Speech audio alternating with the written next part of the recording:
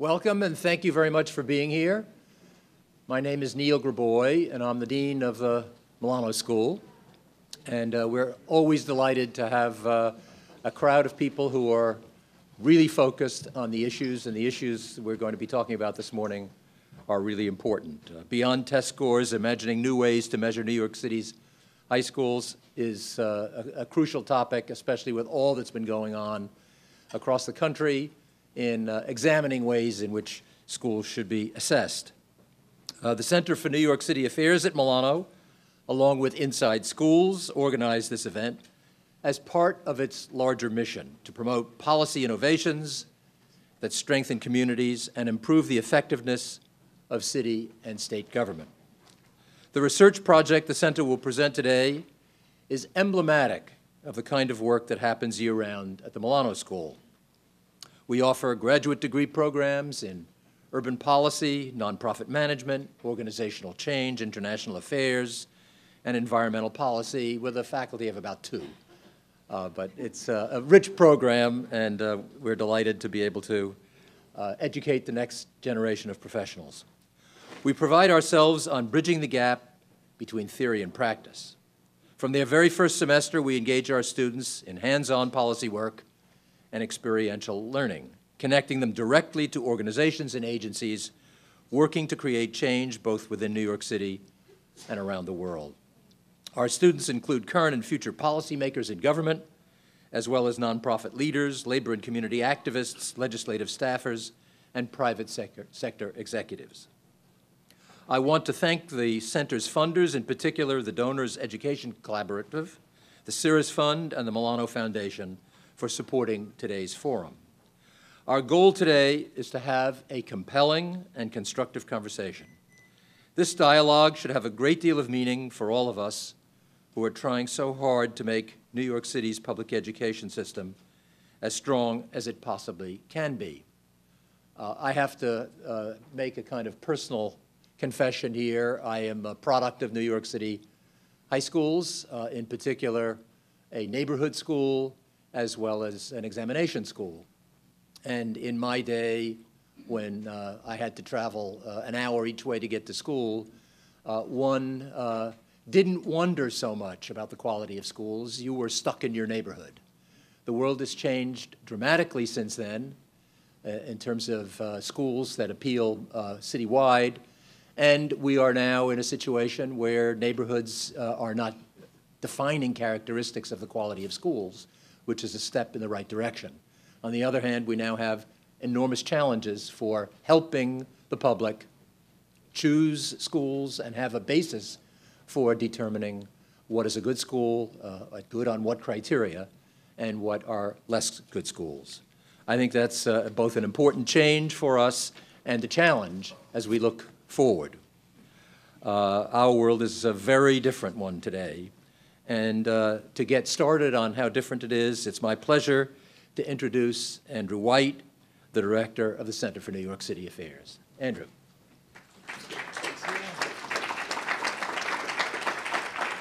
Thank you, Neil. Good morning. Another great turnout for the end of the school year. It's fantastic, or the day after the end of the school year. Um, I direct the Center for New York City Affairs, which I hope most of you know already is the, uh, we focus on applied policy research on child and family issues and um, public education in New York, as well as a few other things. And we are home to InsideSchools.org. Um, in 2010, the center published a report called Managing by the Numbers, Empowerment and Accountability in New York City's High Schools.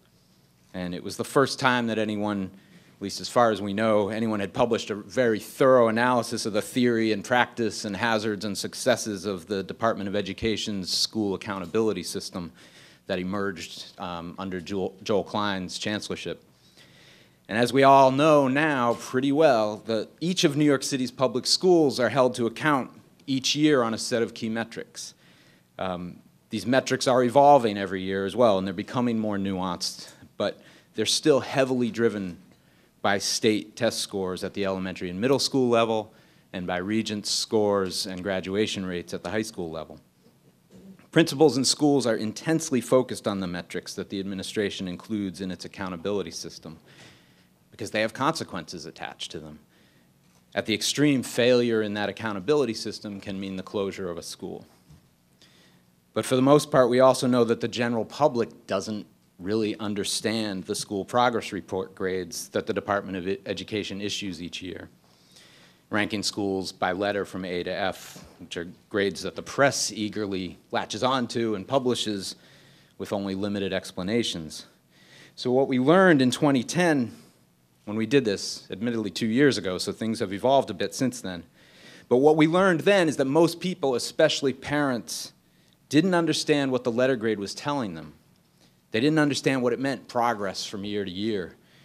Um, it's essentially an internal accountability tool for the DOE that ended up in the public eye, intentionally on the administration's part, but not with the kind of explanations that one would hope for. So while acknowledging that the DOE has done a lot to add to this over the last few years, the confusion we heard, not just from school parents, but even from some statisticians and education policy wonks, got us thinking.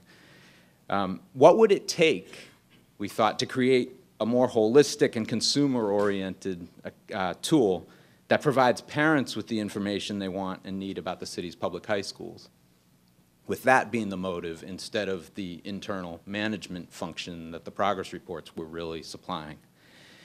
And much of the data we needed, or we thought we needed to do this, were actually available in different places, either on the web or in data sets that we've gotten with the help of the Department of Education and the New York State Education Department. The full list of sources is on the back page of the handout that we gave everybody. It's this, that is the sample school scorecard um, that we've been developing.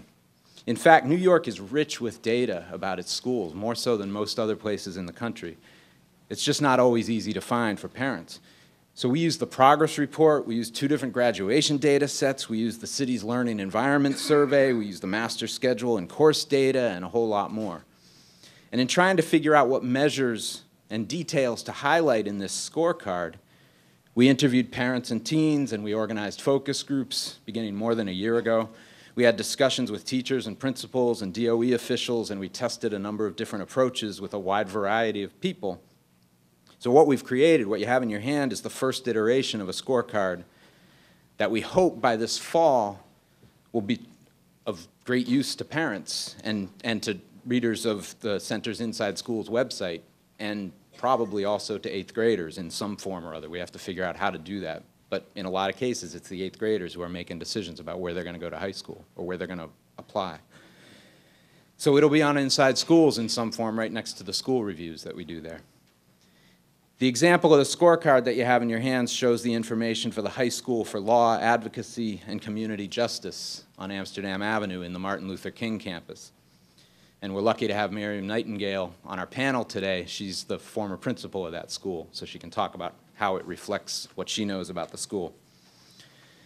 Later this summer, we'll release scorecards for about 40 high schools so they can be compared side by side. Right now, we're waiting for feedback from other principals on those, so we don't want to put them out to the public yet, and from parents and students before we do the full release. But we're already seeing some fascinating differences across schools. So for example, if you look at this, this is the college path information. On the top is Townsend Harris in Queens. On the bottom is the one that you've got in your hand, which is the High School for Law, Advocacy, and Community Justice.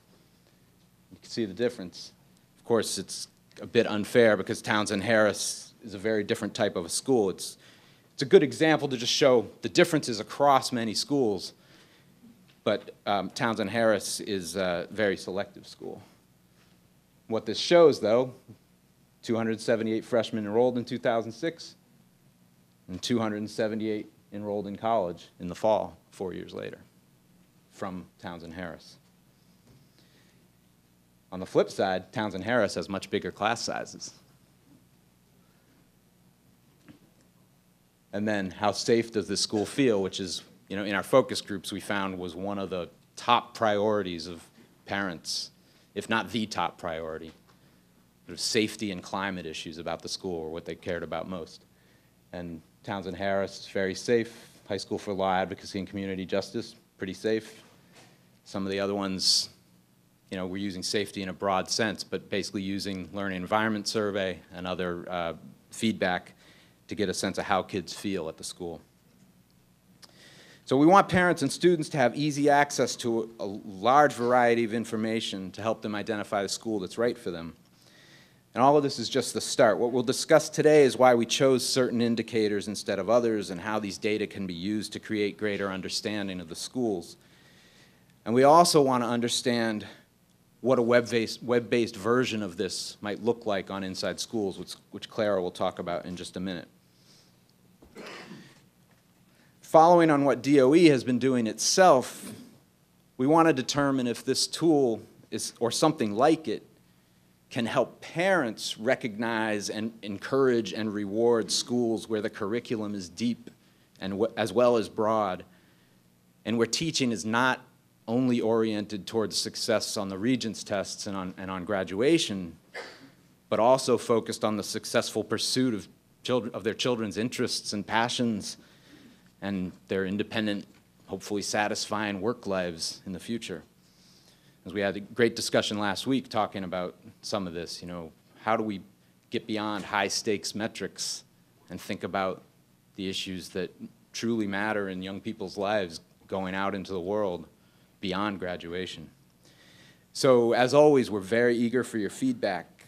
Uh, I want to thank Kim Nauer for guiding this project so diligently, and Jared Carano, who just graduated from Milano, who did an immense amount of work on this, um, and Clara Hemphill for helping out as well.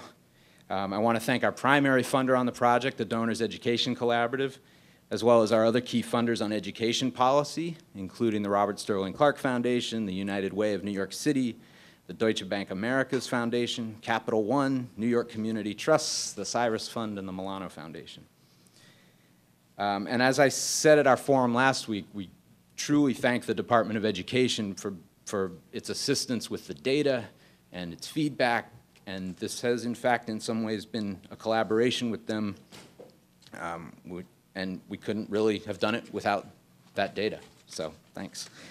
Um, I want to introduce Clara Hemphill. She's senior editor at the Center and the founding editor of InsideSchools.org. Clara.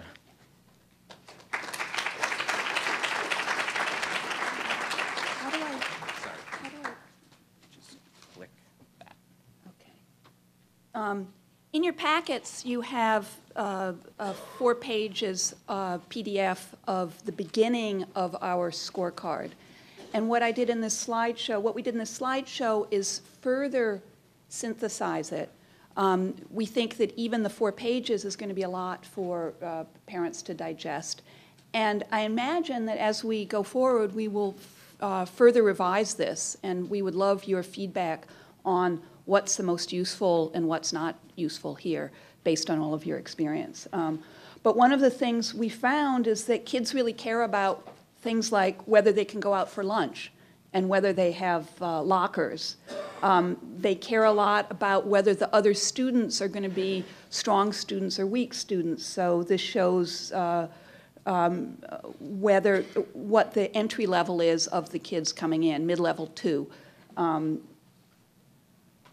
The most important thing for most parents and kids we discovered is, is a school safe? And so we uh, took the, um, Board of Ed has a really wonderful um, survey of 800,000 parents, teachers, and kids every year that asks them a whole bunch of questions. And uh, what we did is we picked out just a couple of questions that we thought were really indicative, and we'd like your uh, feedback on whether these are good ones or not. But uh, we picked the ones of whether the kids feel safe in the hallways, bathrooms, and locker rooms. Almost everybody feels safe in their classroom. I mean, we really don't have that problem in the city. And there's a lot of schools where the neighborhood is kind of dicey and um, the kids don't feel safe outside. But we thought this was a pretty good example of um, how kids, uh, the, the climate of the school. Um, and we also thought that a good indicator is whether the teachers say order and discipline is maintained. Um, one of the things we want to know are the kids happy and do the teachers inspire them? And uh, this, this um, at this school, which um, uh, is one of the schools in the Martin Luther King building, 76% of the kids say their teachers inspired them to learn, which I, I think is pretty good. Um, we also, um, what about the teachers? Are the teachers happy? And we thought that this indicator about whether the teachers trust their principal um, is, is a good one. Um, the class, there was some debate with the people when we talked to the Department of Ed about class size. People say, oh, well, class size doesn't really matter. And um, for this slide, I picked the English class size because um, I think that for the typical uh, Board of Ed teacher who has five sections of 34 kids in English, that really limits the number of, uh, the amount of writing that they can have um, kids do because if you do the math, it's 170 papers to grade.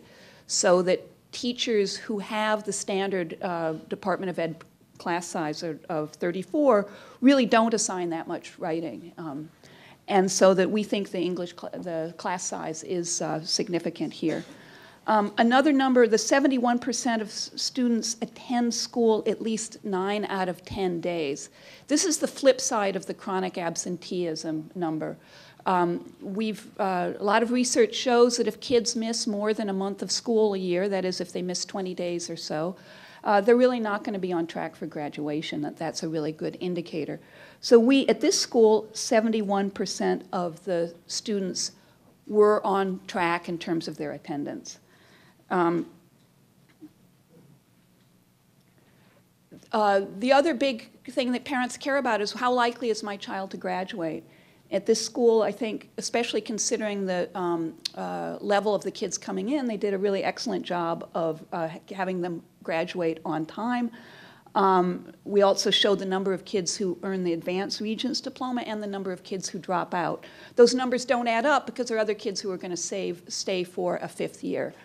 Um, one of the things that, of course, you don't care whether other kids are graduating so much as you care whether your child is graduating. And one of the numbers that I really love in here is the percentage of special education students who are graduating in four years. And in this, you can see that's the second bar there, that 62% of the special needs students graduated in four years, graduated on time. Um, and that's double the citywide average. So this is a number that not all the parents are going to care about, but if your child has special needs, you're going to care about that number a lot. So that's uh, uh, one of the um, indicators that we added. Um, this is really the, um, I think this is what we've added that's really important, and I also think it's, I've got to give credit to the Department of Ed for coming up with these um, uh, numbers. One of the things that I discovered in visiting schools, I went to um, uh, the High School of Sports Careers in the Bronx, and they got an A on their school report card, but they only offer three years of math and three years of science. And their theme, which is sports careers, they only have one class in the theme. So the kids go to that school thinking they're going to have a lot of sports, and what they really have is a lot of remedial reading and math, which is probably what they need. Um, and the prince, I said to the principal, but you're not offering a college prep curriculum. Even if the kids want to go to college, they're not having enough classes. And he said, well, the Department of Ed, you know, grades me on how many kids pass Regents exams, and that's my job. So all I have to, all I can do, and all I'm equipped to do, is to get as many kids as possible to pass five Regents exams. Um, so that one of the things that the department has looked in recently, and that we think is very important, is to figure out, does the school offer a college prep curriculum? Not every child is going to go to college, but before you sign up for a school, you want to know whether at least they offer the college prep curriculum. Um, the top number is um, the number of students who pass at least one college prep class, which would be either an advanced placement class or an IB class or one of the higher level math and, uh, math and uh, science classes. Um, uh, we also say, and this is compared, 39% doesn't sound very high, but when you compare it to the citywide average, that's actually very good, or better than average. Um, we were astonished at the number of schools that don't offer chemist, don't even offer chemistry and physics, and don't even offer algebra 2. So we're putting that on, on this as well. Um, Those are numbers that we got, uh, that are not publicly available on the Department of Ed website, but we got from the Department of Ed. Um, Are the students, so question, do they offer a college prep curriculum? And are they ready for college? And these are numbers that, um, uh, how many kids are taking the SATs? And how do their uh, scores compare to the citywide average? And then this, these two numbers, the 22% and the 52%, are numbers that the department has started publishing recently, um, but not including yet in the grade. Is that right, Martin? It's going to be in the fall they'll start using it, yeah. Um, the number of kids who started in 2007, graduated four years later with test scores on their regents that were high enough to avoid remediation at CUNY. Huge numbers of kids um, uh, graduate and then go to CUNY and have to take remediation. So we want to give you an idea. Um, uh, I, I do want to point out that in, in Miriam's defense, who's sitting in the front row and who ran this school for five years, the kids were coming in with very, very low levels of skills. And to get them to graduate on time took heroic measures, especially when you look at the number of special needs kids and English language learners who are coming in there. So the fact that she wasn't able to get them from a sixth grade level to a 12th grade level and a college level in four years is no reflection on how, you know, uh, it's no, it's no, I I don't mean to say that that was a bad number, but if it's your child, you might want to know that the, the child is likely to need remediation at CUNY. Um, this is a, a, very interesting number, too, which the department has um, uh, found, I think, somewhat miraculously, is that they've been able, using Social Security uh, numbers and student IDs, they've been able to track whether kids actually show up at college, um, which I think is fabulous. In the past, the um, school report cards just had a survey of students' intent and the fall of their uh, senior year or the spring of their junior year, they'd ask them, Do you plan to go to college? And 95% of the kids would say yes. Um, furthermore, you ask principals how many of your kids go to college, and they will tell you in the spring of senior year how many kids were admitted to college. But there's this tremendous melt over the, over the summer. What the department was able to do was find the number of students who actually enrolled in college and this is of the kids who entered high school, graduated four years later, how many of those were actually enrolled in college. What you find, of course, is that there's this huge disconnect between how well prepared they are for college and how many actually go to college. So that the kids are trying, you know, they want to go to college, but you can see for uh, CUNY what a big problem that for the City University of New York, what a big problem this presents is because you're getting lots of kids who are not prepared for college who are showing up. Um, um, this is, um, I was telling you about the High School of Sports Careers where they only have one class in sports. Um, what you'll find here is what the, whether the theme actually plays out and, and what kind of extracurricular activities and what kind of sports there are. So at that point, I'm going to call up the panel. Um, panel, come up. um, um, and I don't have the bio sheets, so I'm going to wing this. Um, thank you. I have the bio sheets. um, uh, on, uh, on the far right, we have uh, Jackie Wayans, who uh, was the co-author of New York City's Best Public High Schools and New York City's Best Public Middle Schools. She's an administrative coordinator at the center and an assignment editor for both Inside Schools and for the Center of New York City Affairs. She's a uh, proud mother of uh, three public school children, uh, one of whom, two of whom are now graduated, and one of whom, um, and it's a testament to the improvements that have happened in the New York City public school system that uh, years ago when we first met, she wouldn't be caught dead sending her kids to school in the Bronx. And now she does have one child who's at school in the Bronx. So uh, she always brought her kids into Manhattan um, until that. Then we have uh, Charissa Fernandez, who is the Chief Operating Oper- uh, Officer at the After School Corporation.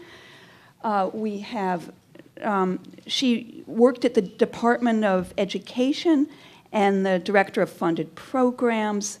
She ran a dropout prevention program for students in Washington Heights and led a summer bridge program and taught English at the Riverdale Country School.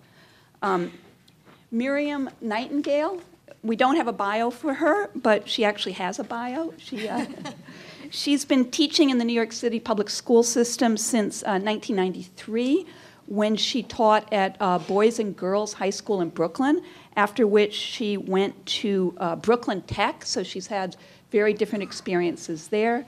She was the principal at the school in Martin Luther King building that we just showed you the slideshow about um, for, uh, what, five, six years? Seven. years. And she's now uh, principal at Columbia Secondary School um, on the Upper West Side.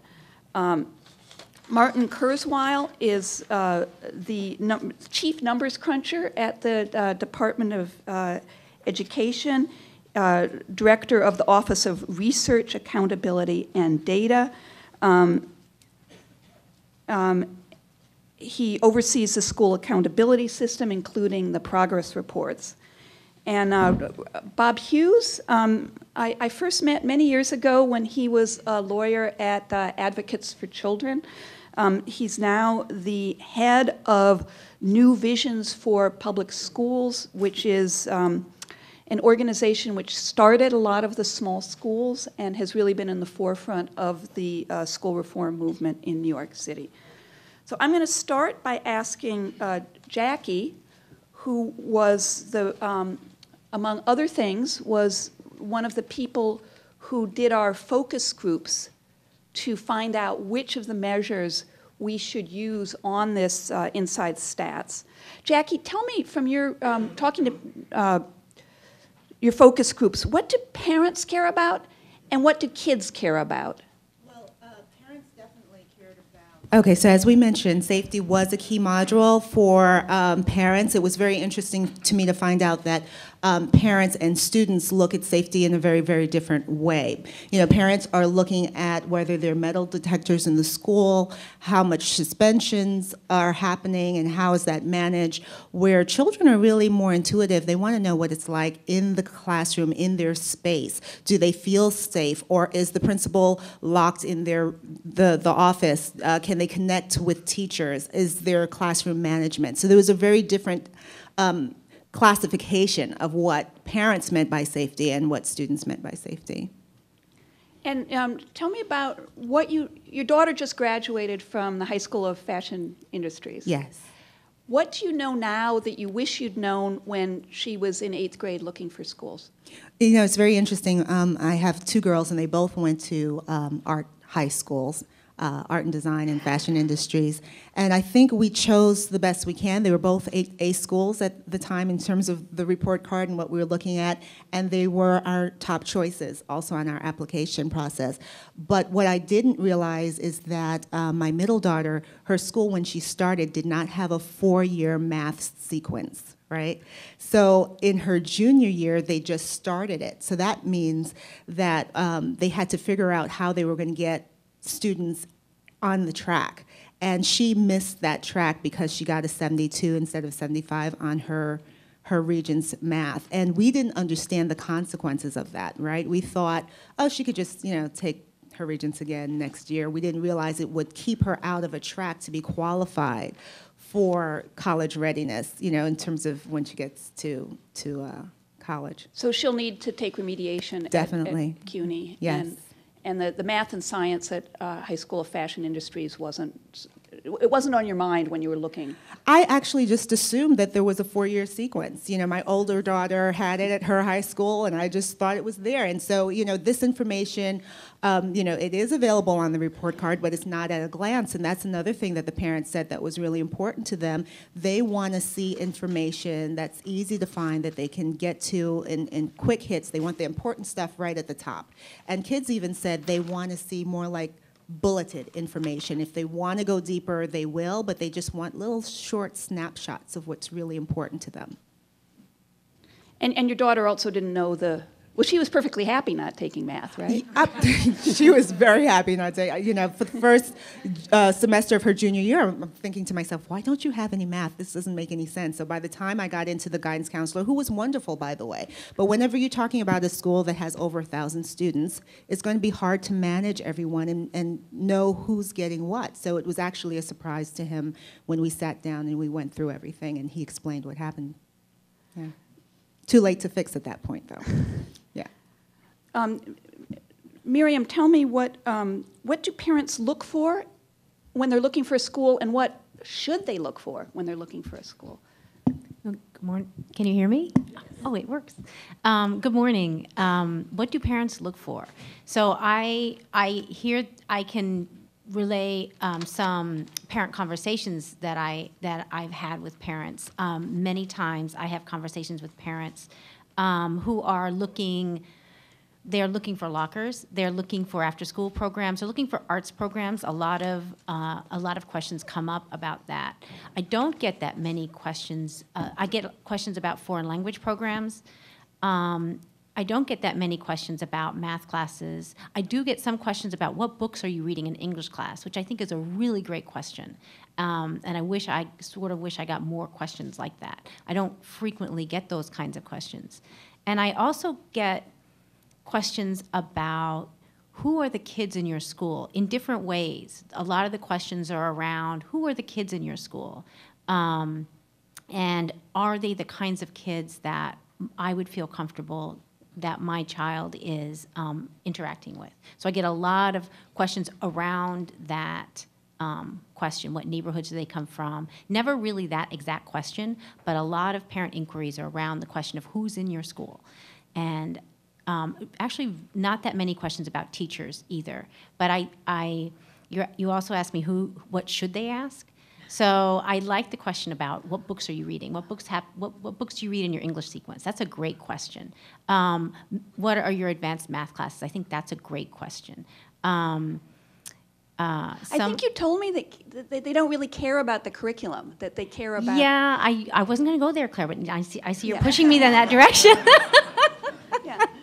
Yeah. I, I don't get that many questions about curriculum. And as um, Jackie was sort of saying, I think there are a lot of assumptions that parents make. I don't think they realize how different from school to school curriculum is. I don't think that they realize how how much curriculum is sort of in the hands of individual teachers in individual principals and it's not standardized i want to say that again it's not standardized you cannot assume that what one school does the, the experience that your middle school child had is going to be the same uh, experience that a middle school child had even in the same a school even in the same neighborhood even across the street. There's a huge difference um, Did- did from people- class to class and school to school. Did people come to your school thinking they were going to be lawyers when they left? some there was some there's some idea about that. There's also sort of an idea that if i put my child in a school called law you know four years later i'm going to have a lawyer and you know so when i got to the school they were reading like case law and they had these courses in fordham in, in ninth grade and they were all failing them the, the highest the, mm-hmm. the courses that were at the theme were the highest failure courses in the school so there's sort of the magical thinking that happens, I think, when you put these themed names on, and it's just, it's about how do you create the path? What do you, what path do you create? So they do. I think parents do sort of think, oh, you know, my kid's going to be a lawyer. I did have some of that. Some parents were like, um, how you know, where's the law degree? I'm like, it's a little more complicated than that. Because even in college, law law studies happen in graduate school. It doesn't happen in undergraduate school. So it's a little it's a little crazy, I think. But um, but I think that there should the, the idea of the theme should be what is the interest, what is the engagement, and how do you create that in the classrooms? How do you attach that to classrooms and not just to after school and, and extracurricular activities? And if parents ask more questions around engagement in the classroom, I think that they would not be so surprised when you know about what happens in the school. Well, I'm also curious about how parents perceive safety. Um, the Martin Luther King building had a terrible reputation for many years. Um, I think, you know, with your, your small school and the other small schools there, it's turning around, but parents are still somewhat skittish. Are they, what are they worried about? So I'll tell you a story. I wasn't going to tell the story, but I'm going to tell the story. Um, Larry told me not to tell the story, but I'm going to tell the story. Um, so about so it took us a long time to develop our school and to get over sort of the reputation of Martin Luther King, you know, that great comedy routine. All schools called Martin Luther King. You know what they're like. Um, so it took us a lot of time. And we spent a lot of time sort of getting rid of that idea that any school called Martin Luther King must not be safe. Um, and so we did a lot of talking to parents about look at the great advanced math we have. We have chemistry, we have physics. We have, you know what can we we ha- we have the same kinds of things that you could find in other schools, but we have a more personalized uh, atmosphere. I guarantee you that our college counselor will walk every single child through the college process. They're going to take, we have them, they, they actually take them down to the CUNY process and walk them through the registration line, which is crazy. That registration line's insane. But, so I had a parent who was really into, he, he visited the classrooms. He was really into the, what we were doing in the school. Um, and then he came to me in deciding whether to place his child in our school. And he came to me and he sat down. He said this to me. He said, I came up in the morning with my child out of the subway. We're across the street from LaGuardia High School, right? So he said, I, I, I sat on the block where the LaGuardia students were walking down to go to their school. And then I walked over to the block where your school, where the students from Martin Luther King were walking down to go to, to the Martin Luther King campus. And he said, You know what? I just like the LaGuardia side better. And I think that that, in terms of safety, in terms of tone, I think that that is something that parents are really attuned to. He said, I just like that side better.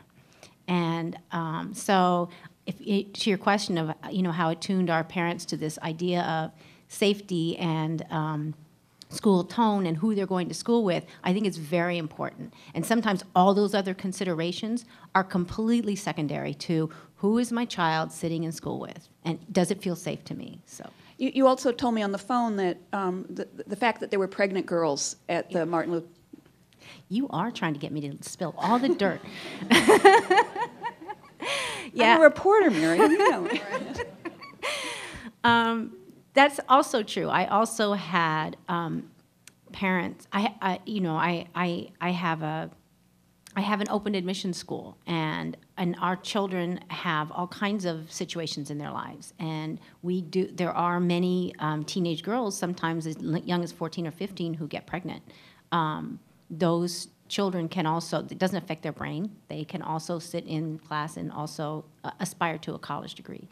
Um, but I did have um, parents who came to me uh, in the office and said, I can't believe that there are pregnant children walking around your school. You know, I, my child can't go to school in a school where there are pregnant girls because um, I can't see that model. Uh, I can't let my child see that that model. It's not one that I believe in, and I don't think that that should happen. And and therefore, um, I, I it, it I, I think I should be able to take my child out of the school because there are pregnant girls in your school. And that that reflected on the safety of the building in some way. Yeah, for them it reflected on the safe not and again safety has such a broad connotation for parents. It's safety of values, safety of, you know, it, safety of not and, and we started uh, the school wearing uniforms. Uniforms used to be okay, if I put my child in the school with uniforms, everything's going to be okay. But that's not so parents have sort of walked away from that now. They're like, okay, maybe that's not so true anymore. If they're really looking for, um, in terms of safety, I think they also mean, are your values like mine? You know, if I put, if I'm away from my child for six hours, is my child going to be getting really, really different messages than the ones that I send at home? And I think that those things are also very important. Are the teachers going to be sending different messages? Are the kids going to be sending different messages? Is the administration going to be sending different messages? And that messaging, I think parents, I don't know how to put that in a progress report, but I think that parents are very tuned to that, students are very tuned to that, and um, it, because school becomes such a huge factor in the development of the child, I think that that becomes very important for parents. Uh, Charissa, um, I, one of the things we included on this is, you know, sports and activities. Um, I think it's kind of a mistake for kids to pick schools based on sports. Um, I, I met a boy who said the most important thing for him was to go to a school with a football team. He lived in East Harlem, and he picked uh, John F. Kennedy in the Bronx, which is three buses and two trains or some, some enormous commute. Um, and uh, didn't last there very long and ended up dropping out. Should kids care about after-curricular activities and sports? Is that, um, is that something we should even put on our school, uh, inside school stats? Well, I think, I think whether you, I think they will care about them whether you do or not, so I don't necessarily think it's, it's a matter of whether they should care about them. They do care about them. Um, And I- don't think it should be the, the only consideration, certainly, just as you shouldn't, you know, we don't want our kids to choose their schools based on just where their friends are going. But um, there is a lot of evidence, um, and it, it doesn't go against, you know, like if, if nobody is graduating from the school, um, that's a, a more. That was one of the problems at Right. John F. Kennedy, yeah. Exactly. Um, So, but there is evidence that kids who go, who participate in activities, in school-sponsored activities um, on an ongoing basis for two years, actually are more likely to graduate, more likely to attend college, and actually more likely to complete college. Um, And so I do think it's something that kids should care about because particularly if you're going to a school that um, doesn't have a strong, a high graduation rate, there's got to be something there that hooks kids, that keeps them coming back. And it, ideally, I mean, Miriam and I were having this conversation before, ideally, that's something that's going on during the school day. Um, And I um, don't think that sports or arts or other, what are now considered extracurricular activities should be relegated to the hours after three. Ideally, what we want is for those things to be integrated into the school day, to be part of the consistent message and values that are being promoted by the school, and for even the academic instruction to be engaging and relevant in the way that a lot of after-school activities are that hook kids to keep coming back. I, I heard somebody call it um, islands of competence. You know, if you're bad in math and you can't read very well, but you're a really good dancer, Right. you'll come to school if there's a dance class, and, And- maybe you'll pick up a little math and reading too. not just come to school, but I think that, you know, realizing that you're good at dance and that if you actually persist in something, you can do well, then you can apply that same, you know, then when you've been struggling in English class, say, oh, well, maybe if I apply myself in the same way that I've applied myself in dance, I can have success there as well. Um, Martin, I want to shift gears a little bit uh, back to the numbers. Um, You've um, produced huge quantities of data. I, I- I think somebody said that the Learning Environment Survey is the largest survey in the United States after the US Census, is that right? That, that, that, that's what we always say. I mean, I don't know how we, we would verify it, but yeah. And there's uh, um, the, the data on credit accumulation and uh, regent scores and slicing and dicing all the different ways kids can graduate or not graduate or stay on time. Um, what have you've been at the department how long now? Uh, about two and a half years. Two and a half years. How have your views evolved since you've been there? What were you like before and what do you like now? That's a good question. Um, I, I, I came in, uh, I think, very focused on um, quantitative measures of school quality, um, just as a result of my background and orientation. Um, and I think I uh, have, have really grown to appreciate the value of other non-quantitative um, measures of school quality, um, things like uh, the the evaluations of schools done by experienced educators in the quality reviews, um, information that we get from people within the school or people working with the school about aspects of the culture and programming and um, harder to quantify um, elements of the academic program. Uh, I've, I've found those to be really, really valuable, and I think when I first came in, I, I didn't really, uh, uh, I, I wasn't focused on that. And, and you thought it was going to be simple, right?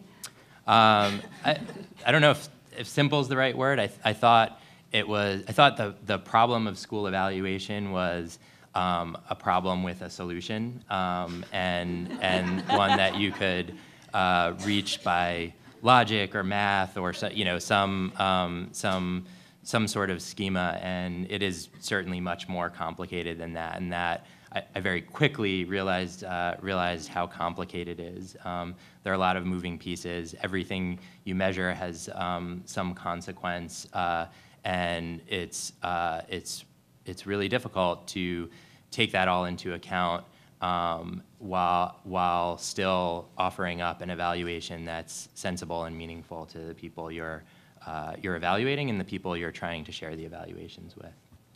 Um, Bob, are the, are the current incentives in the, the, the current system of um, accountability has strong incentives um, for schools to act in one way or another, the way I described the uh, principal at the um, High School of Careers in Sports in the Bronx. Um, it- Are those incentives moving us in the right direction? Or what, what would you, how would you identify the problems with the current system of accountability? Well, Going back to what Martin said, I, I laugh because when Can I was a, when I was a school finance attorney, the joke was that school finance cases are big, brawling, they're like Tolstoy novels. Big, brawling, lots of actors, and everybody's dead in the end. And I do, I do feel that the school accountability question is similar. Are the incentives right? No, I, I think we're all struggling with the reality that we teach kids and they learn or don't learn. And the question becomes, how do you measure their learning in ways that support and encourage teachers to engage in more of the activities that will result in greater learning? We have a set of tests and assessments that very narrowly look at the question of whether kids are learning or not. And in some ways, don't even look at the subtasks that kids are applying to problems to understand their, their full competency so that a teacher then has the knowledge and the ability to act on, on what they're seeing in front of them.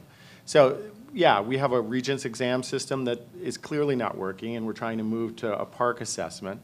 We are having, I'm you know, sorry, what assessment? PARCC assessments are the assessments related to the Common Core that New York State is going to be adopting in the next couple of years, that one hopes will push us to a deeper understanding of the skills that kids have and, and are trying to master. But I think the hard question is there are high consequence measures because what happens in schools every day is high stakes. And getting the alignment between the measures and the, the, the consequential decisions that teachers have to make every day is a tough one. Uh, The principal of Central Park East High School told me about kids who were getting 90s on their Regents, ELA Regents, but getting like 350s on their SAT um, uh, uh, reading. Well, part of the, the Tolstoy novel that we have to struggle with is there's a, there's a reality of what kids know and are able to do, and then there's what we as a society want to know and able to act. So the regents, in some ways, are a, an assessment that the state has established, but as, as I think we talked about in our telephone call, uh, the cut scores in that exam, the, the scores that indicate whether a student is passing or not, are frequently politically determined by the, econ- the political economy and what people believe uh, the public can take uh, in terms of whether kids are failing or succeeding. The Regents exams are not college-ready exams. There's just no question that they don't correspond in the same way that we would like them to. But by the same token, we've done some analysis at New Visions. If kids score 80 or above uh, on the Regents exams, they seem to do much better in college than if they score below that. So there's, there's a correspondence, but there certainly isn't the type of alignment you'd like to see. Um, I want to ask everybody, um, for your, if you, you just saw our um, first draft of our inside stats, um, do these metrics help move us in the right direction? If I'm fishing for compliments, that's. uh, um, but listen, I, uh, Martin, I, I, you know, spent a lot of time trashing the DOE's efforts. Um, this is your chance to trash mine. Well, I'm not going to trash it because I you. actually do. I, I like the inside stats um, document, and um, I think the the things that it does really well are take uh, data that that are available. They're things that we produce and um, convey the results in a clear and accessible way in a narrative form um, which for for many people is is easier to understand than uh, tables or charts or or um, or what have you. Um, so I think it's it's very clear. Um, I really like the way the um, report uses the survey information. Um, the survey, like you mentioned, I think is a incredibly valuable resource with just it's just packed with information about schools and um, teasing out some of the more important questions I think is is great. Um, there are a few things I think the report could do better. Um, so one, uh, one thing I think is providing more context um, for the results that are in the report. Um, you know, a 9% dropout rate, is that a good dropout rate or a bad dropout rate? Um, uh, for- Somebody I mean- taking notes on this for me? Can I, I um, I'll follow up with Kim afterwards. Okay. Um, the uh, yeah, so so providing a little bit more context, it's it's it's hard to understand a number um, without some comparator, and um, really the only comparisons we have are either other schools um, or some set of expectations for for how kids at the particular school will do. Um, a second thing that I think um, the report uh, would benefit from is more differentiation across the different measures. So it, there's a lot of information in there, which is great, but it's um, it's undifferentiated. It's uh, it, it's a lot of numbers, and there's no um, clear indication of which are more important than others. The font size differs a little bit, but there are a lot of things that are at the same font size, and so just uh, having some sort of, I guess, some sort of summary or uh, some sort of um, uh, additional um, perspective on which of the results that are presented in the report are most important and should be focused on would help readers take away um, some main points rather than potentially kind of randomly latching on to particular numbers at the expense of others that may be much more important.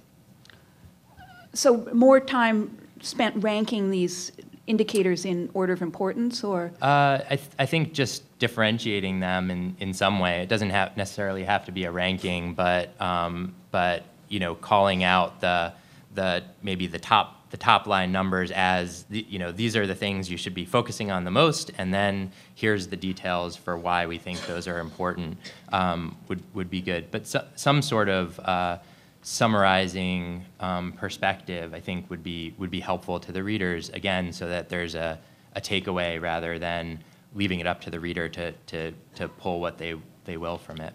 Jackie? Yeah, you know, it's interesting because with the, the focus groups, uh, we found, as Andrew mentioned, that most parents and students just look at the letter grade that's on the front of the report card, A, B, C, and they make quick assumptions based on that, and they tend not to, even though the information's there, they don't tend to go the, and look at the subsets and read the fine print and see what's going on. So this model actually has um, been guiding us in the right direction because we have to remember that most of the most of the times it's students that are going through this process themselves. Um, I found the majority, in majority of cases, it's not the parents and the students, it is the students. And the group that I didn't talk about are the seventh and eighth graders that I did focus groups with, because the eighth grade brain is completely different than the high schoolers that are being reflective, right? And I call them the captive lunch versus the Ferris wheel crowd, because I actually had a, a, a young person say to me, you know, my ideal school would have a Ferris wheel in the cafeteria, right? but the, that same kid was able to really clearly define for me what he would like from his teachers and what, what, he, what he would like from a principal and, and from curriculum and after school. So you're dealing with that very fragile space. So if you can really look at something and say, you know, what do other kids like about this school? Is it safe or is, or is it not? That was a seventh grader. And the process does start with the seventh grader. I mean, they're being analyzed at seventh grade, you know, so that's really the brain that we're, we're dealing with here. And so it's really great for them to have almost a Twitter, Facebook looking type of vehicle where they can get quick information and then go deeper. Bob? I mean, I think, I, I agree with both comments. I would add that I think the, the challenge of any of these documents is to understand the audience and what their values are in using them. So I would mm-hmm. add some sort of interactive feature that said, if you really want your son or daughter to go to a four-year private college, this is what you should be looking at. If you're interested in, you know, pursuing, somehow linking the parent and the student and their aspirations to the numbers, so that it's, because these numbers don't mean anything without the context that Martin mentioned, and without an understanding of how they fit into the expectations, aspirations, and interests of the particular student or her and his family. So I think somehow making this a place where the students' concerns are privileged uh, and then accurately reflected in kind of context of what we know about schools would be helpful. Charissa? Yes, I was just going to add, I think, you know, what Martin was saying about that context is really critical. And um, on the preparation for college and career, you do actually start with this statement that, uh, about what colleges and employers are looking for, looking for. And so I think um, putting some context around sports, not that um, I think at the, at the panel last week, somebody said 7% of New York City high school students plan to be professional athletes. So, you know, if, if the kids are choosing um, a school because they think this is their path to their career, they're, you know, they have a football team and I'm going to be in the NFL, then that's really problematic. Um, But I do think that um, there are lots of other things that we know that employers and colleges are looking for in students, like the ability to work in teams. And I think this gets to what Miriam was talking about before, of how do we um, give more information about the coursework and the, the learning opportunities? So are there internship opportunities, real opportunities for students to gain work experience and develop skills and, and work in teams, not just what are they reading, but how are they learning, that I think um, I realize is hard to present in a snapshot. Um, I think the other thing that I, I would want to know as a parent is if my child s- stumbles, which is sort of inevitable, what kind of supports are available for them? Um, Is there, does the school have advisory? And um, I think really critically, what kind of support for, what college guidance is available? When you're talking about college and careers, is that support available in the school? Does the guide, is there a guidance counselor that has 500 students? Um, I think those are really important questions. Miriam, it was your school we put under the microscope. Do you want to, Um, So a question that's in my mind that I'm, I'm not sure how to answer with these documents is the sort of the top 10 Ivy League college question. Only, uh, if you look at the information, uh, and if you, if you run the numbers down, if you do things by, by percentages, just by the law of statistics, there's just a limited number of schools that's going to end up in that top 10%. And in New York City, probably 10%, right? yeah, yeah, probably 10%, right? So how do you create the report that doesn't have everybody wanting to go to the same 10 schools? Because the statistics on the report are always being compared against a citywide average, which is skewed by, which is in fact, the, the, the front runners are setting that curve. So it's a, I think that there's a, there are interesting things in this report that get, that, that sort of do show the under, um, the underlying, uh, that can tell a different story. But in fact, the story of, the, of my school and the story of the report is always measured against the story of the top schools in the city. And there's just not enough seats in the top schools in the city for everybody to go there. And if they did, they would very, be very different schools. So I guess that's my question, because I think that um, there are, the U.S. News, that, you know, the uh, ranking reports um, often tend to, they, they, they actually, they, they take on their own life. I was in the Peace Corps, and we used to have, you know, there was a, if there was a need, like you needed a well in the village, you would call in um, an, uh, an aid organization. But after the need went away, frequently the aid organization would start to just take on its own life. It would have to create projects for itself to live. I think that's true of accountability too. You know, once you have the system in place, it's it's created for a really good reason. But once it's there, then regardless of the validity of the tests or the the validity of the the information, the accountability system still has to get its numbers. And teachers still have to be evaluated, schools still have to be evaluated. So, you know, how do you how do you fight that? Is uh, was Yeah, I, I think that's really important, and that's something that we've tried to do in the, in in Inside Schools, mm-hmm. is visit schools. And one of the things that I've tried to do at Inside Schools is identify what I call value stocks, that is, schools that have really strong leadership that haven't been discovered yet. Um, And that that, I don't know how you can identify that in the numbers, maybe you can, maybe you can't, but um, what I've always tried to do is identify schools that are on their way up, but the numbers don't show it yet um, because I see strong leadership in place. And um, the other thing that we try to do is we have now on the Inside Schools website, we have slideshows so that you can see what a school looks like. Um, and we can describe in words what the vision of the school is.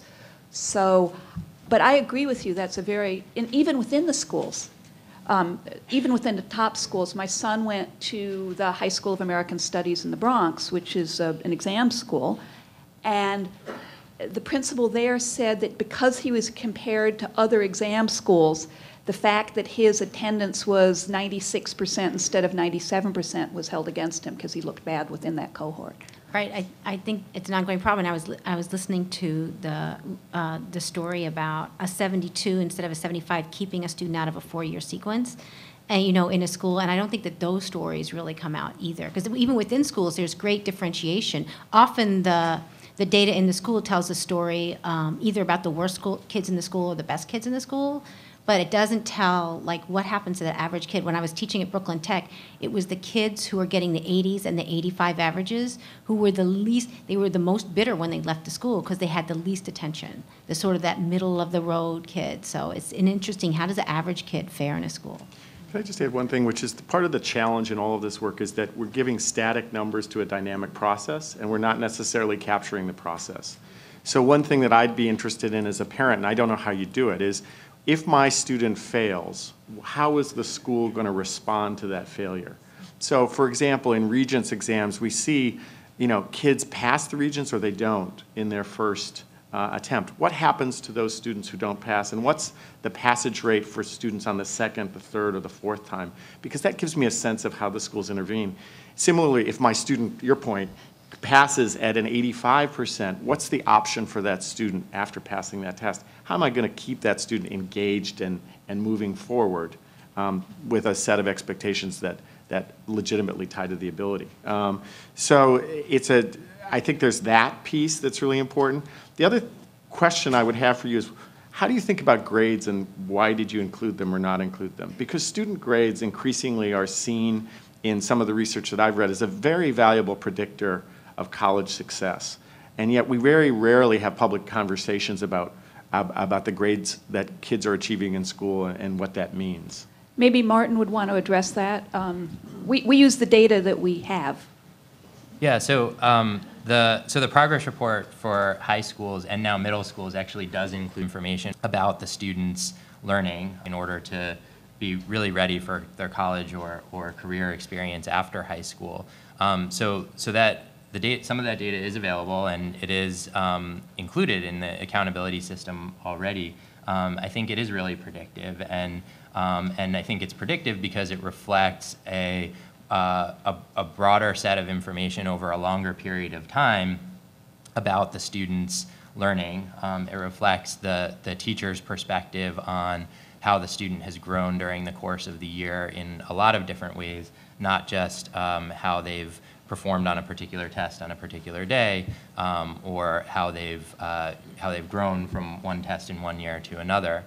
Um, that information is still valuable, I think. The, the the test-based information is still valuable, but, um, but it doesn't tell you everything. And uh, our challenge is to expand beyond, um, beyond that measure. Um, and we've made some progress, but I don't think we're, I don't think we're done yet. We still have more to do. Well, one of our goals is to give parents information, but our other goal is to um, encourage the system to move in the right direction and to change what I think we all agree are oversimplistic um, incentives, incentives that are moving us in the wrong direction and moving them in the right direction. And I want to ask the panel, uh, is there, is there any, how can we use these um, inside stats or something similar to move the system in the right direction? I'll jump in. I, I think you have to be careful not to do too many things with a single tool or instrument. Okay. Uh, and, and then, uh, you know, schools are complicated systems and organizations. Tony Bryk's work at the University of Chicago says that there are five key systems that will guarantee school success over time. If schools are successful in any three of them, it matters. Leadership, professional capacity, and building that in the staff, ambitious, rigorous instruction, uh, youth development, and youth-centered learning environments that include safety and the opportunities you were describing, and parent and community outreach. And that's one of the most um, long-standing data sets we have that ties those factors to increases in student achievement over time. So I would say that when your, your audience is school-facing, you'd want to be looking at this, those systems and trying to build the capacity of those systems. when the audience is parent and student facing, you want to ensure that kids understand the consequence of their choice. I, I think those are very different animals. Anyone else? I, I was just going to say, in terms of the consequences of their choice, that's so important because you, you, you know, you mentioned uh, the after-school component and whether students should choose because of that, but even in terms of the theme, the names of schools sometimes is the sole drive for why students are choosing. And I met a young lady in the Bronx who uh, applied to health opportunities and was accepted, and she wants to be a doctor. And when she got there, she found out they only had one health course or offered. So those are the type of things where you want to make sure, you know, in the directory, it really is based year to year on whether they have the funding and they can continue that. So you need something that is up to date and alive that will really help kids to make the right choice if that's something that's key and important to them, if we know that's why they're making decisions. Uh, Just in terms of sort of um, how, of guiding the system, we, and I think many other organizations, um, fought for years to try to get after-school activities including, included on the learning environment survey. And the response that we always got was, we can't really judge schools uh, according to that because not all schools can uh, have the resources to offer after-school activities or these extracurricular. Um, And I, I just think that including it would really push schools to, to think about those things more and think about, you know, I almost feel like schools should just have numbers instead of names because of the, you know, how those school names can be misleading. Um, And um, I think if, if principals knew that they were, that this was something that people were looking at, they would think more about trying to form partnerships with organizations that could bring some of these things into their schools. Martin, do you want to respond to that, about whether to include extracurricular activities on the, I don't want to call them extracurriculars. I know, It's, it's, um, Enrichment. or, or- what are you saying, music, art, um, I mean, some of it. phys ed, sports? Right, which those are certainly not Yeah. extracurricular, but again, I think. the School newspaper, Internship moot opportunities. court. school- Exactly. Yeah. What, you know, a lot, when, I think when we went to school, they were called clubs or a Yeah, lot of times. debate they- club, moot court, Yearbook and, model UN. right. Martin, you want Um, to? Yeah, uh, we, so the student survey actually does include um, questions about the types of activities that are offered at the school and the, um, and the types of activities that students would, would want to be offered at the school and whether they like the activities that they're, they're doing. Um, It's, um, it doesn't specifically differentiate between after school and during the school, but I think that's what you're. Right, and I I think it wasn't factored, it wasn't factored into The the progress school reports progress were. reports. That was, Um, That may be, the, the, yeah, I mean, the results that you Right. get from that are, you know, sometimes a little, the, the data can be a little bit odd, but, um, You but. you mean unreliable? Uh, well, just, or just, you know, students saying they participate in something, but then not saying what, how they feel about it, or saying how they feel about something, but then not saying that they participate in it, and it's, the matches are a little strange. But in it, that's, that's maybe a little too wonky for this, um, this, uh, this. This is a really wonky. Um, But, um, I, so, going back to your original question about um, incentives, I, I think, uh, you know, I think the Inside Stats report um, will motivate different types of behaviors. Um, I think anytime you uh, put in, out in public uh, an evaluation, a measure of what a school is doing, um, it's, I mean, that's a form of accountability, publicizing information, and, um, and you're going to see schools orienting um, towards uh, the things that are included in there. Um, one thing that I think is uh, really important to keep in mind and, and, and consider is that uh, when, when the things that you're measuring are performance measures, absolute cutoffs for different types of outcomes, um, the motivation for school staff is very different than when you measure other things like uh, participation in different types of activities or progress in different measures of, of uh, student outcomes the performance motivation, and Miriam should chime in here to tell me if this is uh, accurate, but if you have a cutoff like meeting a graduation requirement or achieving a particular score on the state ELA or math test, um, the, the focal students are the students who are on either edge of that cutoff. The students who are just short of meeting the goal or the students who are just above it and are in danger of slipping behind. And those are the students that get the attention from the school. And so there's, uh, there's certainly value in measuring how many students are meeting that bar, but there's a risk that you zero um, schools in on improving that number by focusing on those marginal students.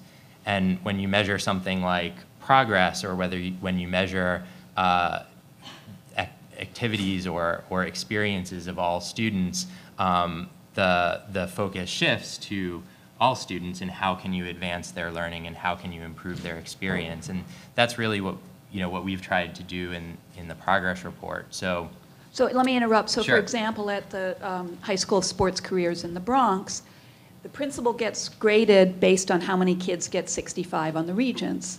And they focus all of their energy on getting everybody to get exactly 65 on five Regents exams.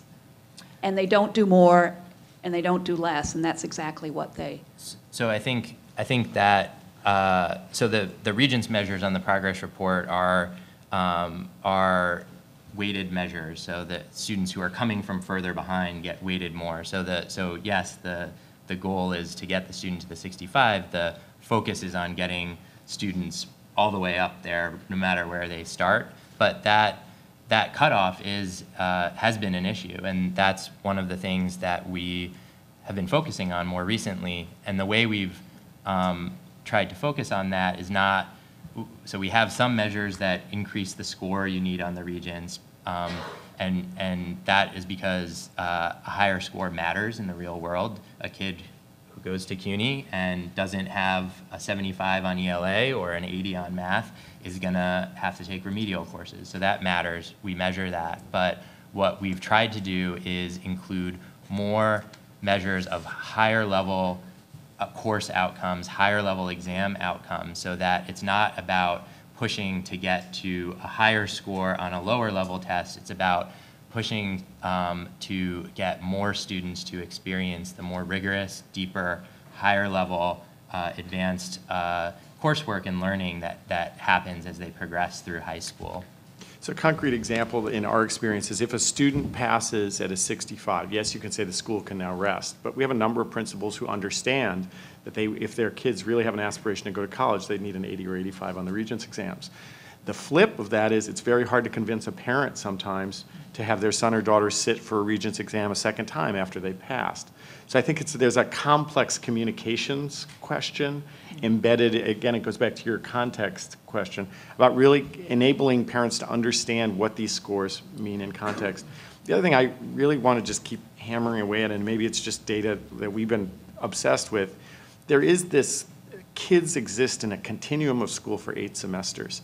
Any data point is a single point at time.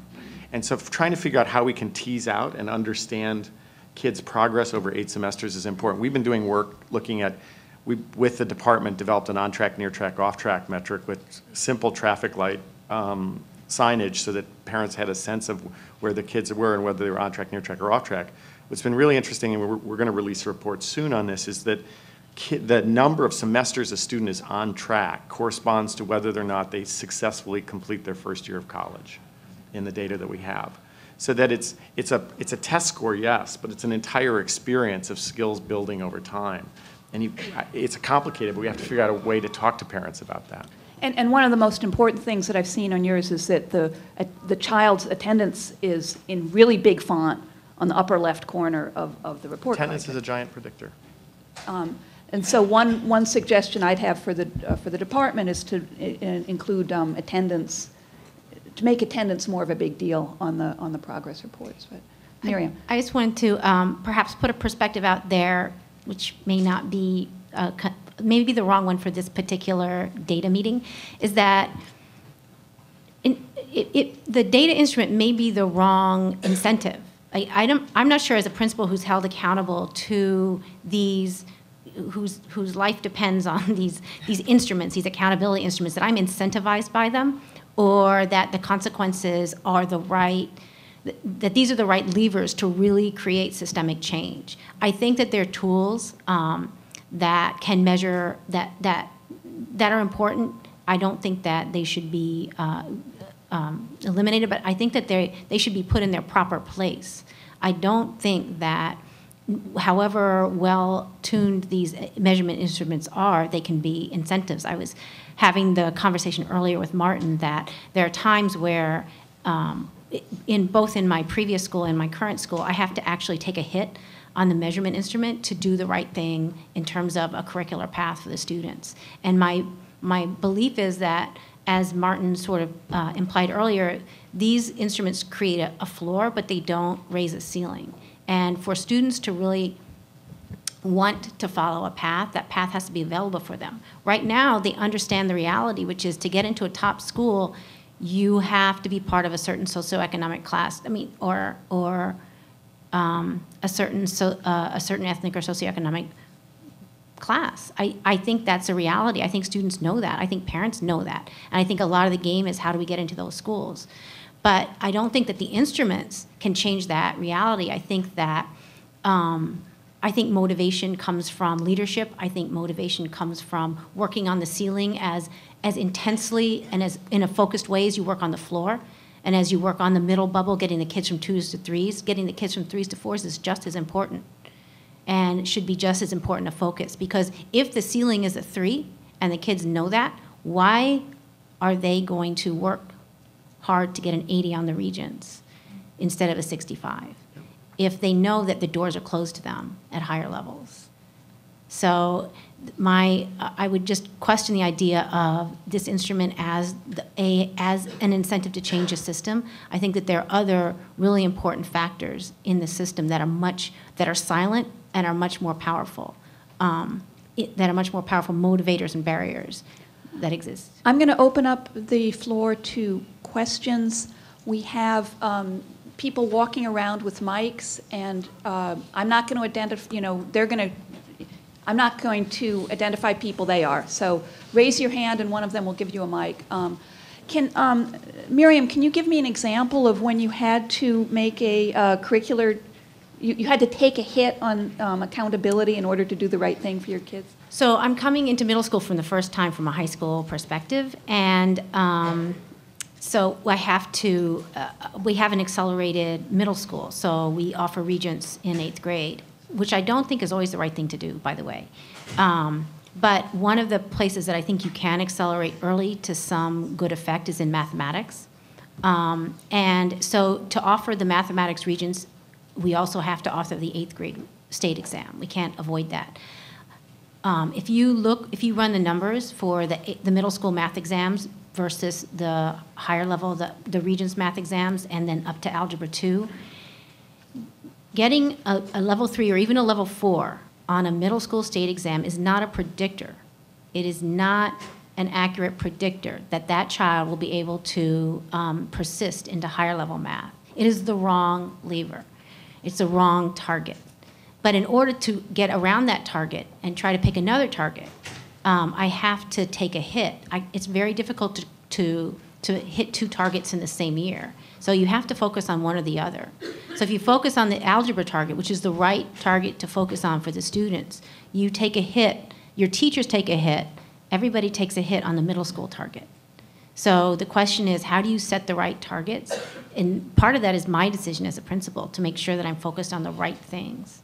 Um, and uh, so that's one example, I think. In, in, high school, there's a little more freedom. There are alternate exams. You can, you can instead of the regents, you can, you can take the IB, or you can take an AP, or you can take uh, an S, you can get a certain score on an SAT. In the middle school, there is no escape. And I think that it is, um, I, I think that it, it, it, it poses some significant barriers to teachers and principals. Do we have questions? Hello, yes, Laura. Hi. So I think everybody's made the point that it's very hard to capture in one document, particularly pre- presented in an attractive, concise way, everything that everybody thinks would be useful. And I wondered what your intentions were for how this document or the next version would be used with others. For example, the school profiles you currently do on Inside School obviously tell that larger story that people have been talking about, about that qualitative feel and how it fits some of the things Martin was asking about, how it goes together and the bottom line, and if you had to sum up the feel of this school. So is there a way to think about, and similarly, if one wants more information about specific offerings, one could be referred to the high school directory or even the Department of Ed's list um, uh, of statistics. So, so is there a way to think about, ha- you know, at least within inside schools, is this going to be side by side with the profile, and whether there's a way, maybe even in this document, to refer people um, to other places without overwhelming them, because otherwise your task is impossible. Um, and I guess I would just the one to me thing that was missing in terms of context was on these student surveys that if you don't have response rates, it's hard to know if the school has 100 kids and 63% of the students say they feel safe, did only 10 of them answer? So anyway, but that's, that's just aside. But, so my question is how you would refer Um, people to other sources and how you see this working with other insights. Yeah, well, what we're, um, what we're hoping to do is, I mean, we, we, we made the, the four-page PDF into a, a PowerPoint, which is a little bit closer to what you see on a website. Um, and then we, we plan to refine it further with your, um, you know, with all the comments that people have given us, and put it instead of the at a glance on the Inside Schools website now.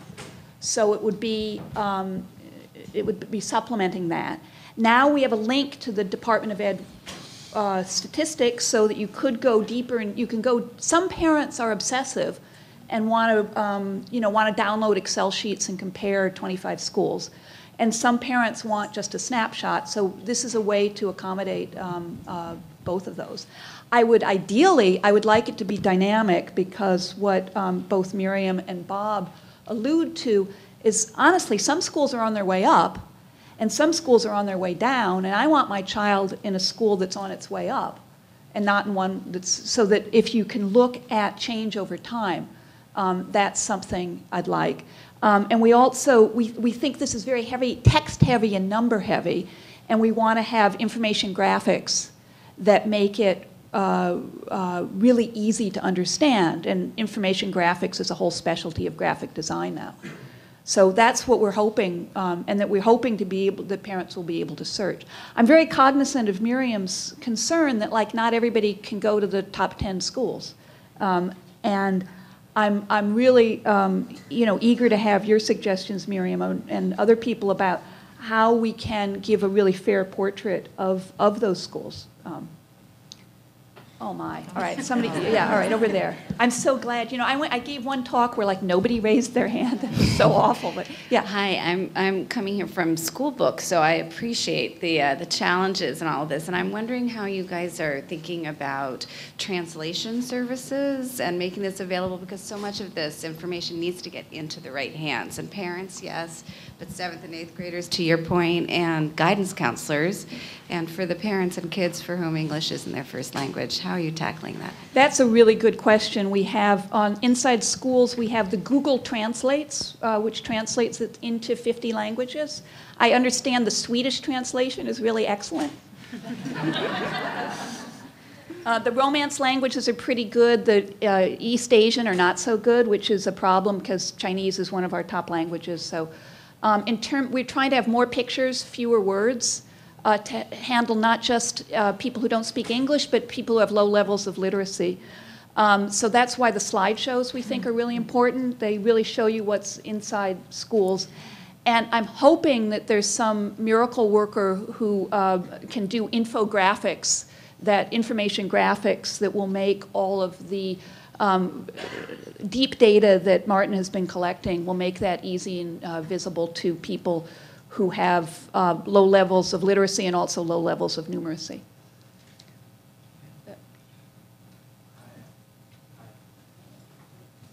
I'm Matt Lean, I'm a former teacher. I had um, two points kind of related. Oh, okay, thank you. Um, my name is Matt Molina. I'm a former teacher. I had uh, two questions kind of related. Uh, the first is, um, is the data department new? Because my understanding is that Obama's um, follow-up to No Child Left Behind, which is called Race to the Top, requires data to be collected in order to qualify for the grants. Um, no, uh, the department's not new. We've had uh, an accountability office for 10 years at least since um, the original No Child Left Behind, and I, I think before that as well. The progress reports have been around since um, 2007, uh, and we and we did a pilot the year before, so really 2006.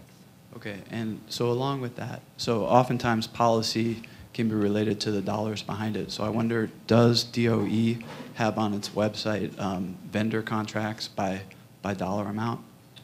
Um, so the so there are the, I'm not a budget person, so that so I'm not uh, too familiar with it. But the we do have um, school allocation memos which uh, talk about the budget that each school has, and I believe the city comptroller's office has um, lists of all of the vendor uh, contracts that are in place.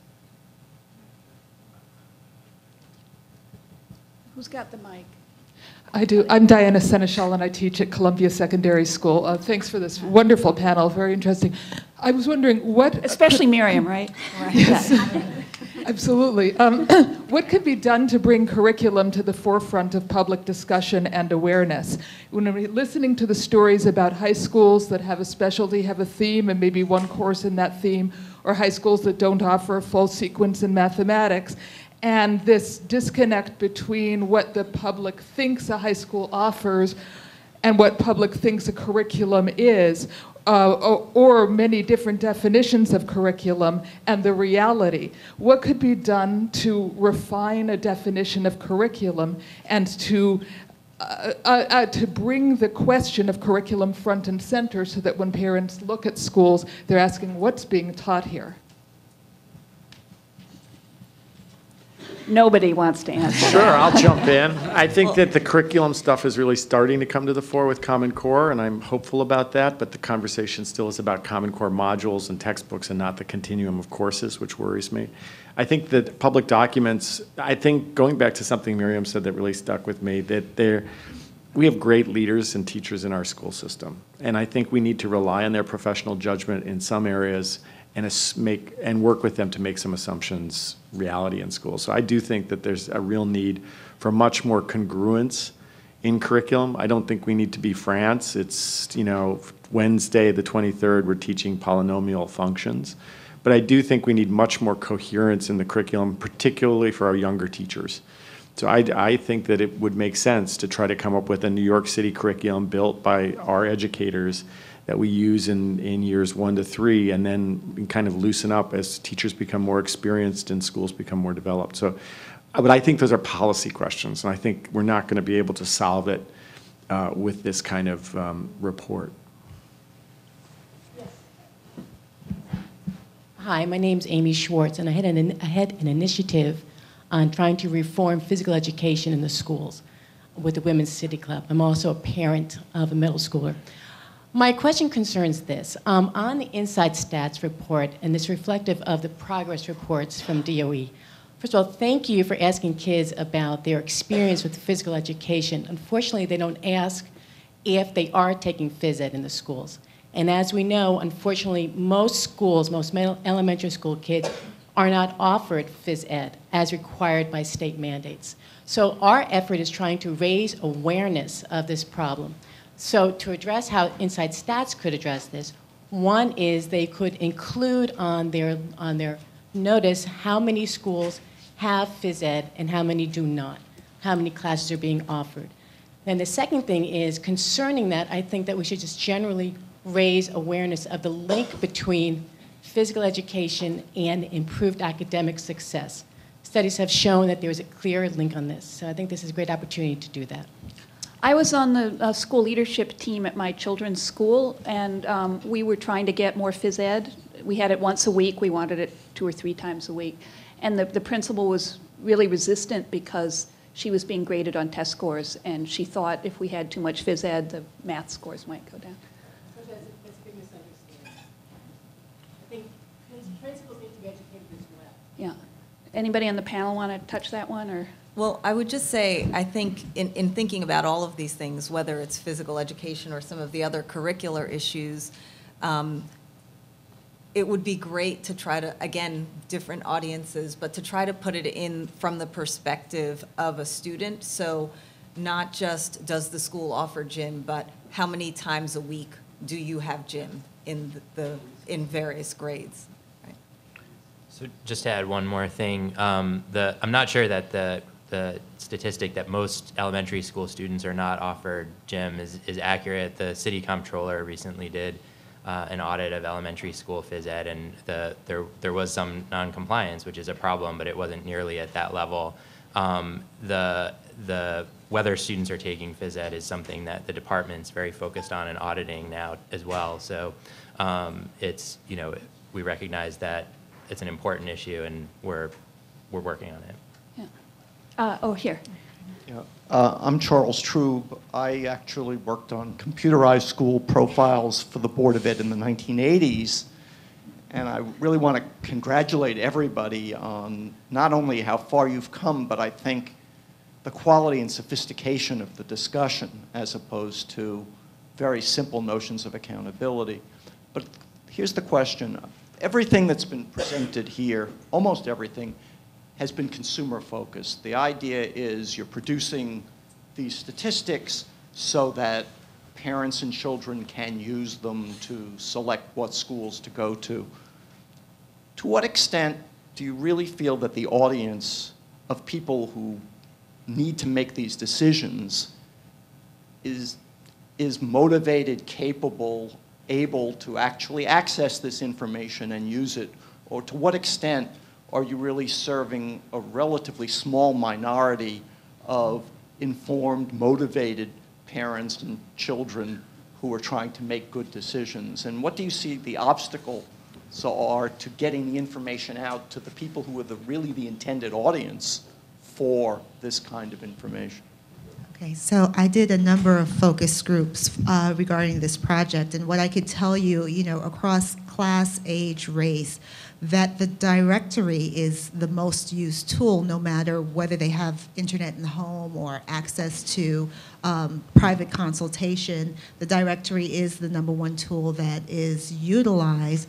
And then what we found after that is that Inside Schools is uh, very much the um, kind of trusted resource by, by parents, um, parents specifically, for, for looking at that. So I think if we could combine our conversation with those two um, metrics, we would be able to reach our target audience because they are looking, they are tapping in. I haven't met a parent who said, I've never researched a school. It's just what is that research? Is it is it word of mouth? Is it uh, our tradition? Is it uh, what the community has to say? Hard copy directory or going online? But yes, they are definitely looking for the tools. I mean, I would say just come, one of the most amazing experiences in New York City is the high school fair. And if you, if you have students you've been, if you haven't, spend two days in the Bronx um, at the high school fair, you quickly understand that there's a very motivated consumer class. I think the question becomes one of transaction costs. How do we actually ensure the right information gets to the right parent at the right time, given the diversity of interests, values, and needs across the population of parents in the city? And that's a tough one. I mean, and, and I think underpinning that is too, to what, and we haven't talked about it and it's not an appropriate forum, but our system believes that parent choice should be the determinant factor in placing kids in schools. I think choice is an important component. I wonder sometimes if we're replicating market dysfunction in, in privileging parent choice above and beyond other considerations like concentration of need in schools. Really hard questions beyond the scope of today, but we have to think about to what end is this information being used in a broader context of how we're placing kids and making the match between an effective school and the needs of that student. Yeah, I think that's a very important point. On our website, we do have videos that help parents navigate the process, and we have one at the, uh, which I shot at the high school fair in Brooklyn Tech, and it's totally a mob scene. It's really a zoo, and it gives you a really um, uh, clear idea of how difficult it is for parents to navigate the high school choice. And I um, agree with Bob that it's uh, whether choice is a good idea is an important question and perhaps beyond the scope of this conversation. It's a good idea. How we implement it is the open question for me. Yes, uh, my yeah. name is Martin Krongold. I'm a member of the Citywide Council on High Schools. Um, My, my exposure to the Department of Education system is that it has significantly improved access for children who previously did not have access to college-ready curriculum, period.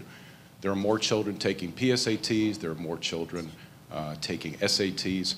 Uh, Unfortunately, the- it's taken 10 years or so to get more kids exposed to general education that are in the special education program. So it's a long, long, long process.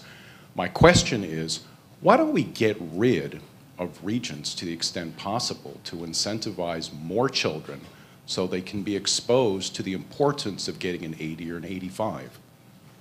The reason is, is that regents, whether it be regents for high school or, or tests for three to eight, it's overwhelmingly a basic knowledge test.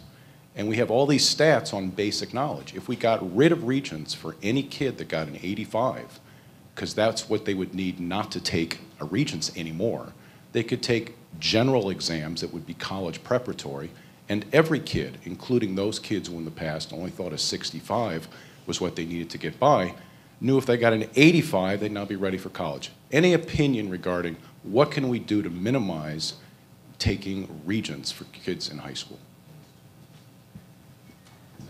Okay, I'll, I'll give it a shot, but I don't know. Um, I, I, I think it goes back to, um, to, to one of Diana, Diana's questions actually about curriculum. I think that if, we are one of the most tested countries in the world, and I think that one of the reasons that we do that is because we don't have any other definition of what kids are supposed to do in school.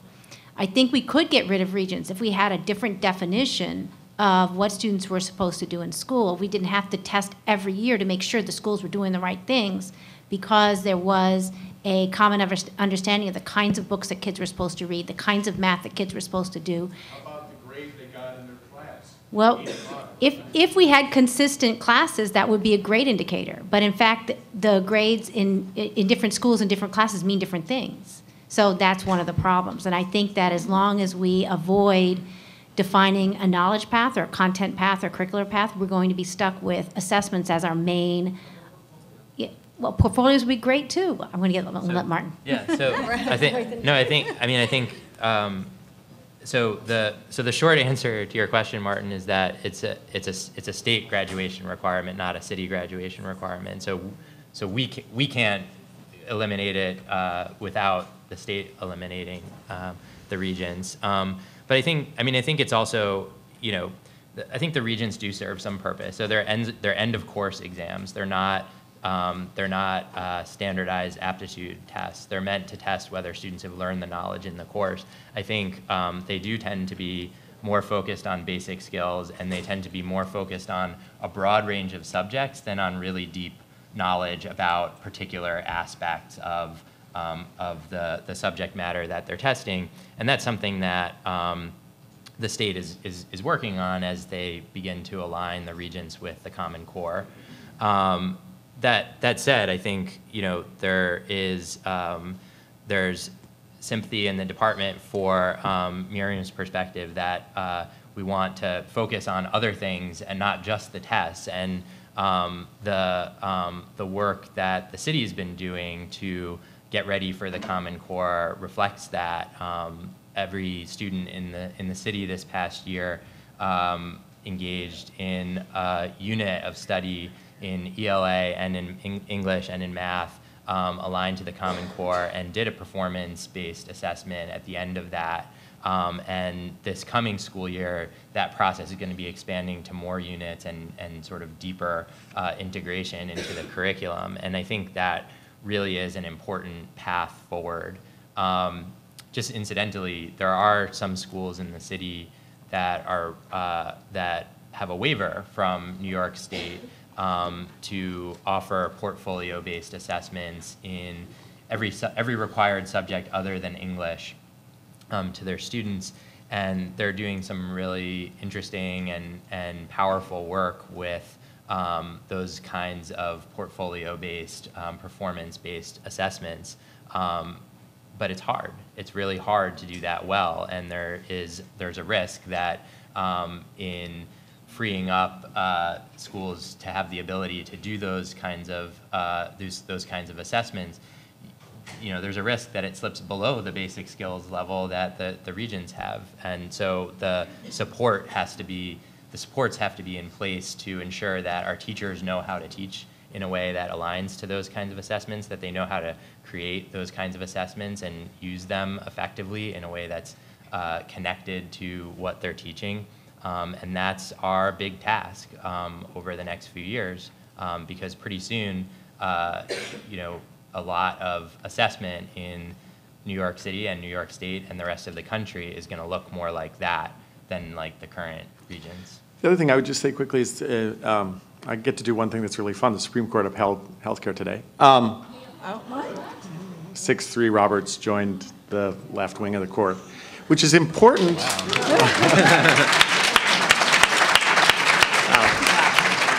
That was really fun. Um, uh, it- it's Thank you, important bec- Bob. because it underscores, it underscores one of the challenges of the Regents, um, which is we, one of the biggest barriers to kids graduating, ironically, is American history and global studies. It is a giant barrier. And so I think there's an interesting interplay, not in the abolishment of the Regents, but really starting to talk about what do we want kids to master and know, and maybe to go deeper rather than broader. Because I think one of the things that does inhibit schools from developing themes, for example, and a variety of other things, is how much we've defined the core against the Regents exams. So does every student need to take American and global studies in the way that, as a content course? I think that's an, an open and interesting debate we should have. Similarly, what is the global studies and American course about? Is it about content, or is it actually about processing nonfiction literacy?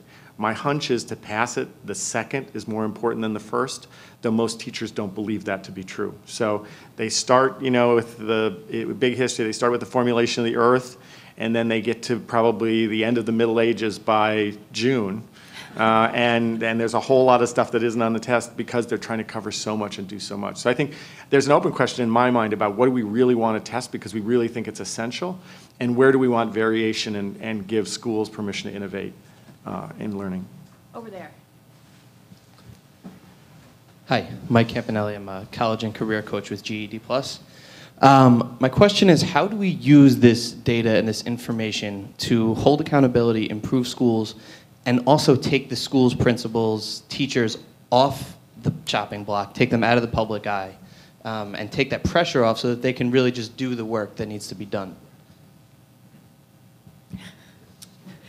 Um, so, I mean, I guess I, I guess I would say that most the, the vast majority of teachers and principals aren't on the chopping block as a result of the of accountability. And the and the what the what the accountability tools that the department has uh, are intended to do is is is not is not just to identify uh, schools that are struggling and close them. It's to identify schools that are doing really well with the students that they have. Um, it's to identify the areas in which schools that are um, that are struggling are struggling, so we can have some other kind of intervention or support to help them improve. Um, and even for the schools that are really struggling, it's not always just about closing them. It's about finding the right kind of um, intervention to help improve outcomes. Um, but at the same time, I, you know, I recognize the pressure that principals and teachers are under. Um, you know, a lot of it's because of the accountability system, sure, but there are other reasons that principals and teachers um, are pressured. It's uh, those are two of the hardest jobs um, that there are, and um, and I think what we have uh, tried to do is um, is uh, while maintaining uh, accountability, um, try to reduce the administrative burden of that accountability as much as we can, and try to reduce other uh, uh, burdens that we're placing on schools that distract from the core work of instruction. Um, we're not we're not there yet. That's I mean this is going to be sort of a, a theme I guess of, of, of my comments today. We're we're we're working on it, but we're not there yet. But I think um, but I think giving the space to focus on what really matters, um, while at the same time uh, continuing to develop new and better measures of how well uh, our our our schools are succeeding, given that space, um, is, is the task ahead of us. Over here. Excuse me, yes. Um, my name is Gail Greenbaum. Uh, I'm president of Whole School Healthy Habits. Just want to give a minute of background. I taught for 21 years in the New York City Public Schools. I taught English. Um, 20 of the years were at Stuyvesant High School. Um, and I spent my last year in a low performing school. And my observations, I think, might be of interest. Um, the biggest difference between the Stuyvesant students and the much lower performing school, which had a 65% pass rate, was the kids' attitudes and their habits. And um, my class had a 95% pass rate within six months of my coming there. So um, I would say a third of my students in this lower performing school were smart enough, for sure, to be Stuyvesant students. They never would have made it, most of them, because they didn't have the attitude, they didn't have the work ethic, um, they didn't know how to put their best into it. Uh, one of my students, actually, I only taught there for one year. She's now in her third, she was a 70 student. She's now in her third year of college, $30,000 scholarship, A student. She was a, starting as a 70 student because she turned around her habits and attitudes. I think this is a huge factor in student performance. I've been in over a dozen New York City schools, CED schools, um, and universally, it's the kids' behavior. Um, you know, the teachers are not in control, the students are not in control of the behavior, and so the kids don't learn. I mean, there isn't a lot of I'm gonna. I'm gonna cut you off there because we want to get a couple of questions in. So Well, anybody quickly want to answer that? My question was, I mean, I think the teacher, um, is there more way to measure the teacher's impact on students? I think it's a very valuable thing, and the principal's ability to get the best out of the teachers so that the teachers really have an impact. Because every school has wonderful teachers, and I've seen that. Anybody want to respond to that? I think you've done a great job including trust in the metric. I think that's really important and undervalued, and it's great to see it in it. Um, Yes.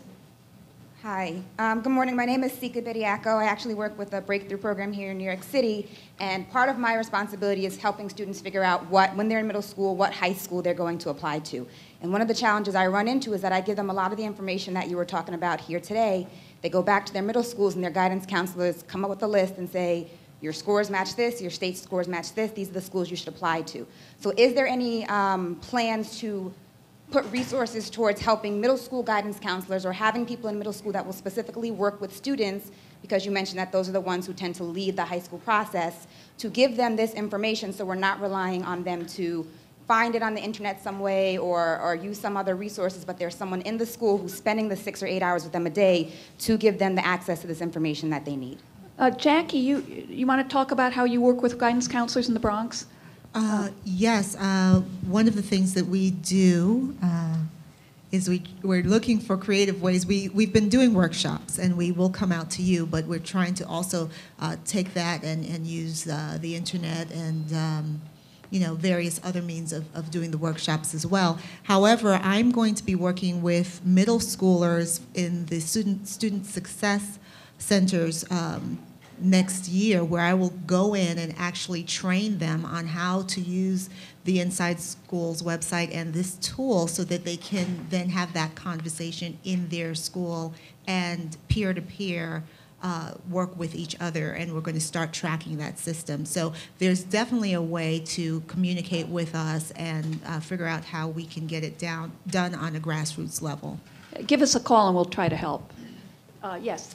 Yes, Mary Beth Holman. Before I ask my question, I just wanted to uh, second what Charissa was saying in terms of adding the after school activities to the measurement systems. In a short period of time, um, working as a grant manager for after school programs for the 21st century programs at the DOE, I saw children's performance transformed by the after school programs in which they participated. So, and I saw the really low performing students excel in after school programs.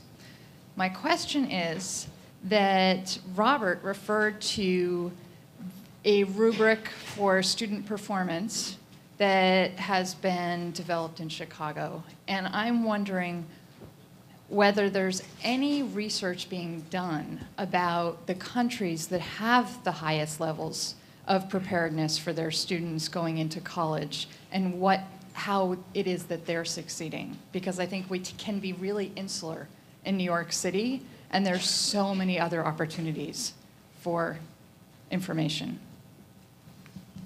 I mean, I think there's a ton, uh, and I think some of it's good and some of it's open to debate. But I think increasingly in- New York and other places, we're looking at countries, some of which feel similar to us, some of us feel different to us, ranging from Finland to Singapore, with very different social structures, et cetera. So the complexity of actually making a New York City report card, looking at the diversity of 1,500 schools, is magnified when you then start to look at different cultures, traditions, histories, and systems. So, I mean, I think the one thing that I would say uh, is that we have to figure out, it builds on the earlier comment about teachers, we have to figure out how to reward teachers much more effectively and, and give rewards being either monetary or esteem while holding them accountable. I'm not adverse to anxiety in the life of anybody who's got a consequential job.